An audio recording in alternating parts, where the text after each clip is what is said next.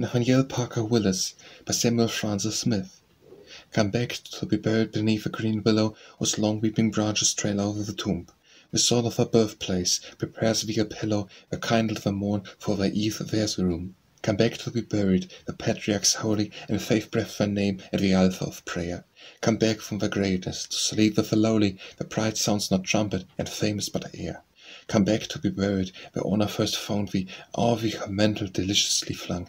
Come back with a robe of renown wrapped around thee, dressed where the garlands and youth o'er thee hung. Come back to be buried as blossomings vernal fall back to the soil whence their beauty was born.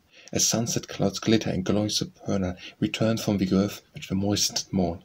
Come back to be buried, but still show the crescent of fame, early won record loom as chaplets of love made simple scant are saved from the night of the depths of a tomb. Come back to be buried, mowed down by the reaper, whose pitiless skiff spars no man and no bloom. Come back to be buried, O lone silent sleeper, where kindred await thee, come pilgrim, come home.